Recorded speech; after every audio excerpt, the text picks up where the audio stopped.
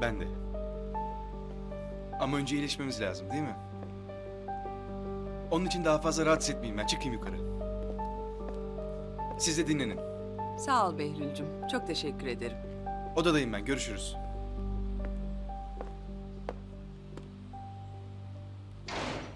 Ne yaptın sen bu çocuğa böyle? Yola gelmiş. Arayı düzeltmişsiniz.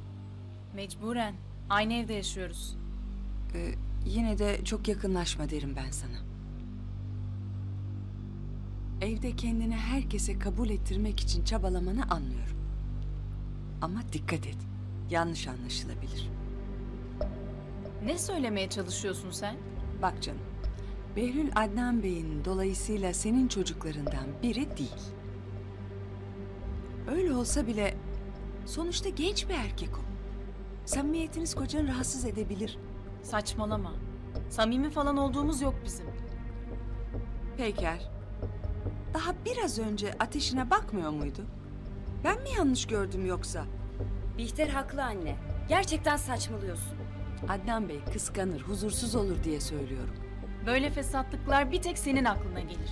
Doğru konuş. Durduk yerde tartışmayın şimdi. Vallahi anne çok gereksiz boş konuşmalar bunlar. Yanlış bir şey söylemiyorum ki. Genç bir kadınla evlenen her erkek diken üstünde olur. Daha kıskanç, daha hassas olur. Boş yere adamı huzursuz etme. Aklına kurt düşürme diyorum. Tamam lütfen bu saçmalık bitsin yeter. Kes lütfen.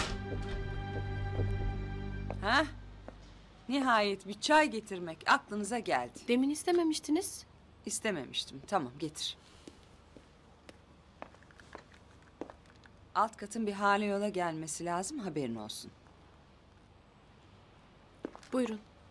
Teşekkür ederim Cemile. Afiyet olsun. Yok almayacağım ben.